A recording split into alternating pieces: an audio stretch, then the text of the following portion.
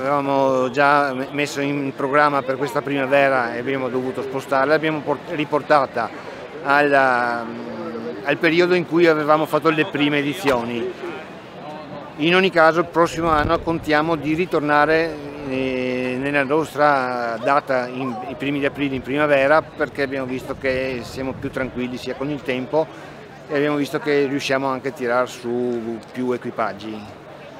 Quest'anno abbiamo meno equipaggi, però sono ancora problemi appunto con, eh, con la pandemia, non, non, non siamo ancora purtroppo ritornati alla piena normalità, contiamo di ritornarci presto.